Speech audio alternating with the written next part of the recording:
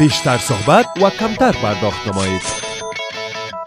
حالا از MTN به MTN بعد از نخستین دقیقه تمامی دقایق بعدی آن را صرف در بدل 0.5 افغانی فی دقیقه تماس بگیرید. برای register نمودن یک پیام خالی را به شماره 889 ارسال نموده و در بدل دو افغانی فیس روزانه از نرخ کاهش یافته جدید مستفید شوید. MTN با شما در همه جا.